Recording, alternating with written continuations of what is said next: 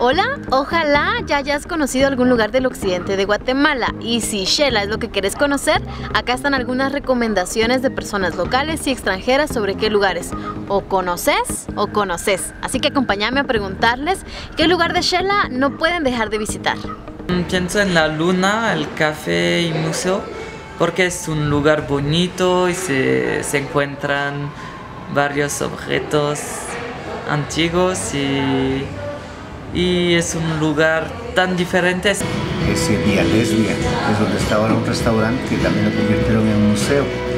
Y es eh, tertulianos que ha ido pues eh, juntando muchas piezas también de la historia de Quetzaltenango.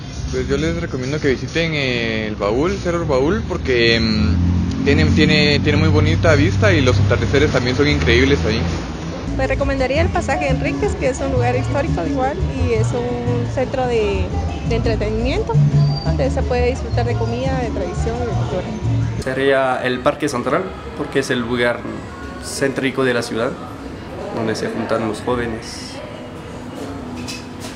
Pues yo que soy amante de la gastronomía, creo que hay dos lugares que no te puedes perder acá en Sherra, que es eh, Royal, Royal París más que nada por la gastronomía muy francesa y brunch, porque es una cocina muy independiente y muy buena. El cementerio, que me gusta mucho. Bueno, más porque en Francia, además, cuando nos vamos en este tipo de lugar es muy triste, gris. Y aquí es todo el contrario al final, entonces es bien, bien agradable y sobre todo cuando hay sol. Pues definitivamente sería el Parque Central, ya que es un lugar eh, turístico y pues eh, Shela no sería nada sin su Parque Central. A mí me gusta ir a un restaurante que se llama Don Carlos, que queda en la 23 Avenida, y Tertuliano, que es muy, muy bonito, sirven delicioso. Pero también la taberna Don Rodrigo, que está aquí a un lado de la, del Teatro Municipal, con unas hamburguesas deliciosas.